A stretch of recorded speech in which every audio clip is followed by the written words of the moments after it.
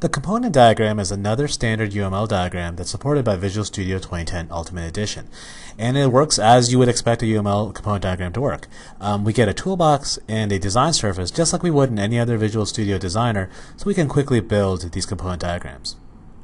Let's jump ahead and look at a component diagram that we've already created. Component diagrams give us a static view of our system. It's ideal to combine that static view with a view of how our system behaves. It's a dynamic view so what we can do is create lifelines inside of a sequence diagram in this project. When we create this lifeline, we're linking to a sequence diagram. With this sequence diagram, we can describe how the components interact. Again, with the sequence diagram, we have a toolbox and design surface. Lastly, application lifecycle management is an integrated part of everything in Visual Studio 2010. So we can choose a component and link work items directly to that. When we do that, we can see the icon that identifies that there are work items associated with this component.